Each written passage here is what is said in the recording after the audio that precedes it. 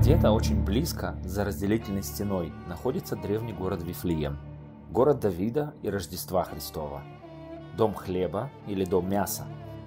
В его центре стоит один из древнейших христианских храмов мира – храм Рождества Христова с пещерой Рождества под ним. Напротив него мечеть Омара ибн аль-Хаттаба. В последние годы разделительная стена между Израилем и палестинской автономией стала меккой для художников со всего мира – Граффити и стрит-арт притягивают десятки тысяч туристов каждый год. Основная часть граффити на тему палестино-израильского конфликта.